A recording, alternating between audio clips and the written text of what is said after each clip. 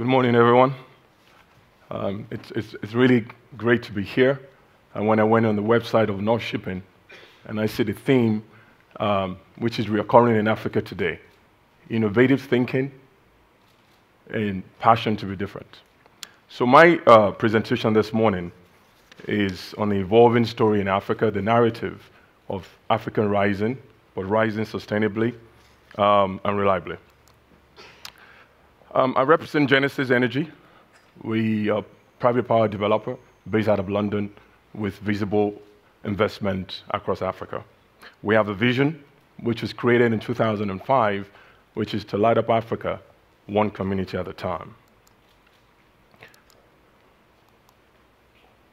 Well, we all know the story of Africa 1.2 billion people, growing to be uh, about 2.5 billion by 2050. Um, there's enormous resources, thousands of miles of hydro uh, potential, wind, solar, geothermal, and so on. Countries are focusing on good governance, um, clear socioeconomic plans, and you know, the government realized, governments in Africa realized that if you, if you want to attract investment, if you want to develop your country, you need to be more transparent. Governance needs to be taken more seriously. Businesses should start with a handshake, not a shakedown. Um, and, and, so all of these good things are starting to happen in Africa. And um, the continent possesses great opportunities for the serious um, and, of course, for the curious investors who, who would dare venture out into this lovely continent. The many challenges um, that we all know, of visibly so for those of us who are very active in the continent, we find that um, in order for us to go green, old habits die hard.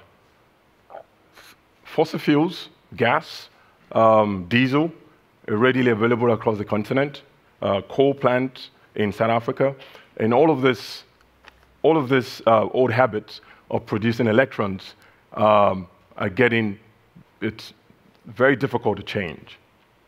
The resources to also change to create uh, more renewable solutions of hydro, solar, geothermal are slow in coming. Um, there's also the regulatory opacity. The energy mix um, between thermal or fossil fuels and renewable is sometimes uh, very unclear. Uh, the, the, the red tapes that it involves, especially uh, for securing licenses and so on, could be very, very challenging. And of course, there's a recent um, economic, socio-economic issues which is affecting most economies in Africa, who are based, who earn their income largely from natural resource. You have the uh, local currency inconvertibility. We have the hard currency illiquidity. Um, there's limited access to patient capital. Building infrastructure requires a lot of money. Um, putting, putting, putting all of this together into Africa, it's even more, uh, it's even more so because with Africa, businesses and projects competitive and bankable projects are slow in coming. And so to do this, you need capital that are patient enough to allow um, a gestation period that you need to put together projects that become bankable, reliable, and sustainable. Um, the power sectors in most countries in Africa is very, very nascent. For example, in Nigeria, uh, the sector just been privatized in 2013. In South Africa, they started much earlier in 2008. Um, Ghana is, is slow in coming. Uh, but so all of this, in other parts of the world, especially in the first world, you'll find that the power sector has been there for decades. So the learning process has been there. Uh, you know, it's become that of a permanent design. So there's a lot of challenges out there. But my question is, what can we do better? Um, how, how do we better create the enabling environment? Policies by the government that would encourage and engender confidence in investing in Africa. The fiscal policies, uh, such as uh, tax holidays, um, infrastructure is about business. We need to be able to make money. So cost reflective tariff, especially for renewable, is critical. Um, if, if, if, we can make a decent return on investment, it's going to be difficult for, for us to find investors. So governments everywhere in Africa is thinking seriously about this.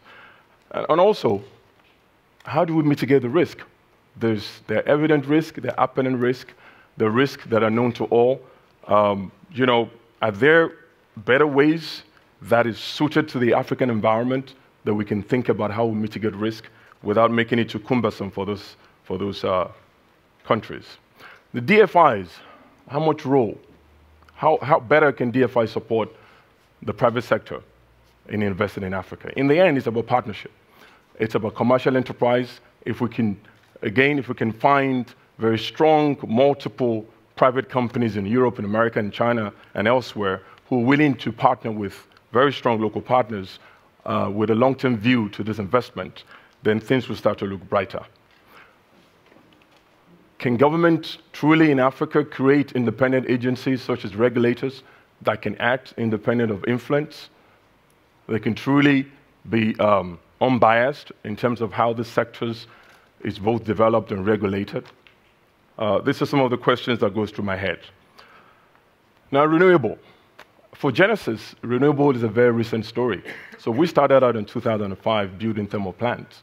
Um, and today we've built thermal plants in about five countries in Africa, largely gas-fired. Um, but the core of our vision, which is lighting up Africa one community at a time, is truly exemplified by renewable energy solution, where you can solve the two problems that I see. There's an access problem and there is availability. Access is for those over 600 million Africans that don't even see electrons.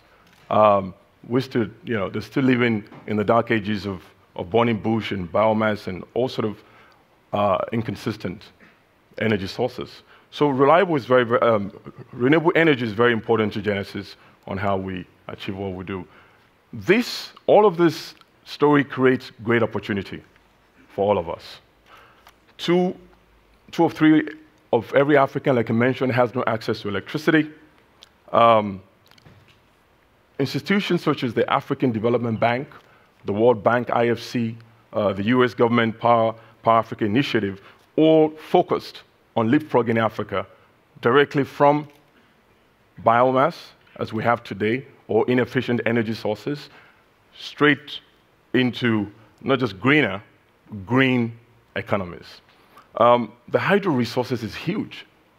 We have thousands of possibilities on small hydro, medium-sized hydro, uh, big hydro.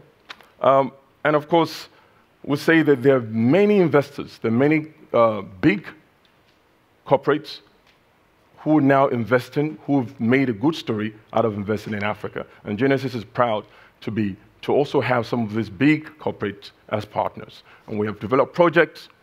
They're producing reliably. We have great feedback from the customers. Uh, there's decent return on investment.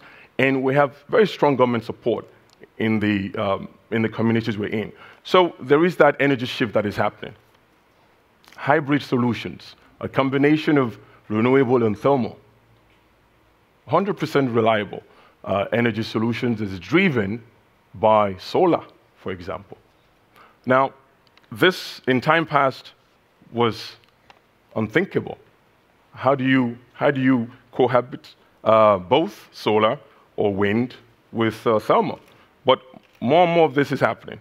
So collection of data is becoming more transparent. There's basis for us now to make judgments uh, are reference points in, in projects, the data centers that's been set up across Africa.